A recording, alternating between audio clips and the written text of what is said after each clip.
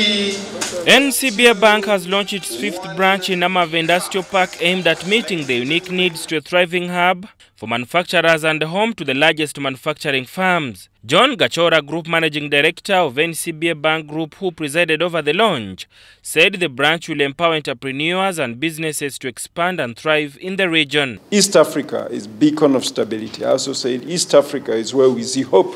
And I said East Africa is where we see most development coming through. I also did say, if you look at Uganda, GDP growth of 5.3 last year, promising to do even better this year, and knowing the calmness and stability that we see even as we approach elections in 2026, this is a place I would encourage anybody to invest in.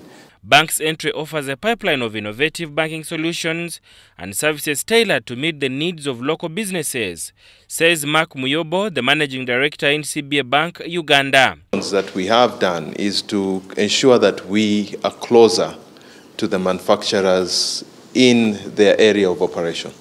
As I mentioned, this is a 2,200 acre of, uh, of what of industrial park, and uh, more than 150 uh, manufacturing organizations already established here.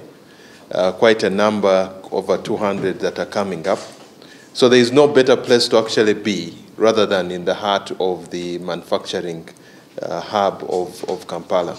The extension of banking services across the country helps to bridge the financial inclusion gaps and help the government in its financial inclusion targets agenda, as Hannington Waswa, the Director Commercial Banking at Bank of Uganda, says.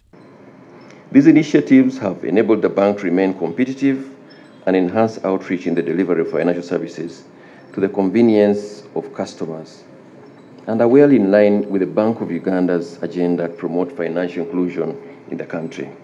I therefore applaud the bank for these initiatives.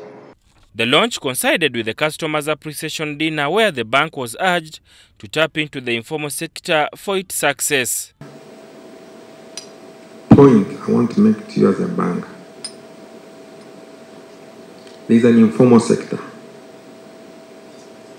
that nobody taps into. And that is one of the secrets of the success of MTN. Sada Mubale, UBC News, Kampala.